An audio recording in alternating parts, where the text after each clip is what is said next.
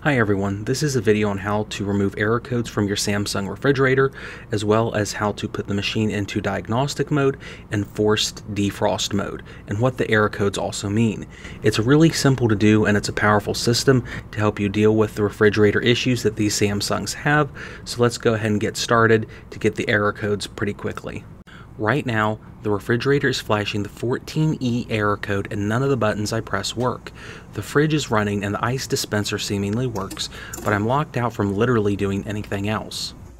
To fix this, we need to press the top left and top right buttons simultaneously and then hold them for approximately 8 seconds.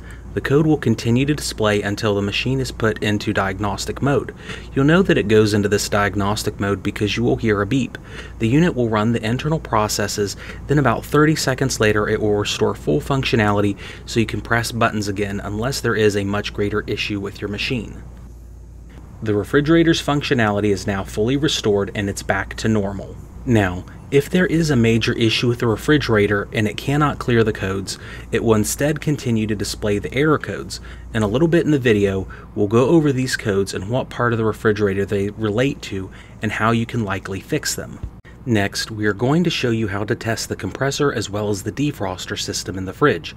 This is a powerful tool that will let you help troubleshoot cooling related issues on this type of Samsung refrigerator you are going to use a similar cadence as the diagnostic mode, but instead this time you will press and hold the upper left and middle right buttons for approximately 8 seconds. Once you have done this, you'll hear an audible beep from the refrigerator telling you that you have entered the forced mode. From here, you can press any button to cycle through the various forced mode options available. The refrigerator has four different modes on it that you can force the system to operate with.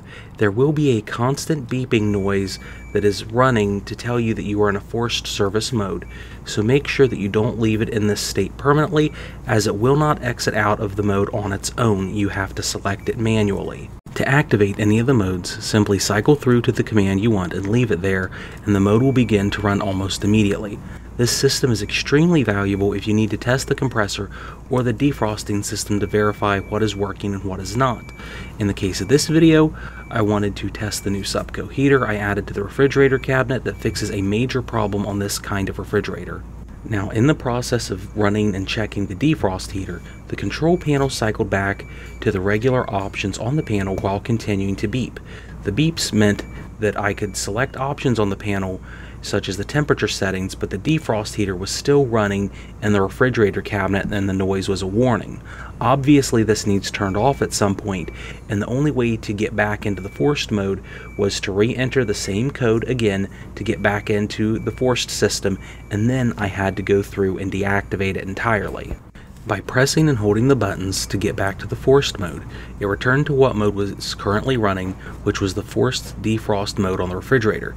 To quit the forced mode entirely and end the cycles and return the refrigerator to its normal operating mode, you will select the screen option that is totally blank after the FD code or FD mode and wait for about 8 seconds. The beeping will stop and the refrigerator will return to its normal mode of operations.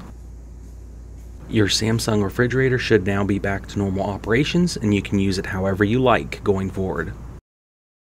Here is a list of potential error codes that could pop up on your Samsung refrigerator either before or during the diagnostic process. Each set of codes generally has a theme on what could be wrong regarding the refrigerator, freezer, or ice maker, or another part of the refrigerator altogether. Many of these components can be tested from the circuit board on the refrigerator with a multimeter to see if they are out of tolerance, revealing if the component is bad or maybe if the component is just accidentally unplugged. In addition, there are codes that could be displayed on the front door interface, but also the computer board on the back of the refrigerator, which could display additional codes through a series of red flashes. And this video has those codes as well. The final code that we are dealing with in this video is the OF code. This mode shuts off the compressor while the interface retains functionality. Even if you unplug the refrigerator and plug it back in, it will still maintain this code. To remove the code, which is the demo mode on the fridge, press and hold the upper left and middle left buttons approximately for 8 seconds to clear this code. And there you go. The demo mode is now off and the refrigerator is back to normal. I hope that this video has helped explain a few different things that you can do with your Samsung refrigerator, troubleshoot issues, fix errors, understand the codes, or put your system into a forced mode to help understand something else.